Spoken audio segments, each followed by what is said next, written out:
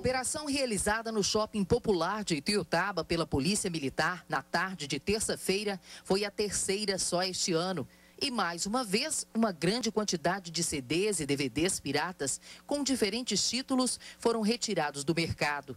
Num total de 3.662 mídias que violam os direitos autorais dos artistas, quatro pessoas que trabalhavam com a venda do material também foram conduzidas à delegacia.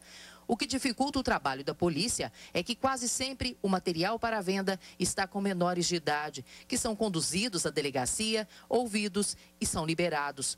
O comandante da operação faz questão de frisar que o trabalho deve continuar para coibir essa prática criminosa. É um crime que a Polícia Militar está combatendo e continuará combatendo para torná-lo inviável né, e, e, e extirpá-lo né, da comunidade tijucana.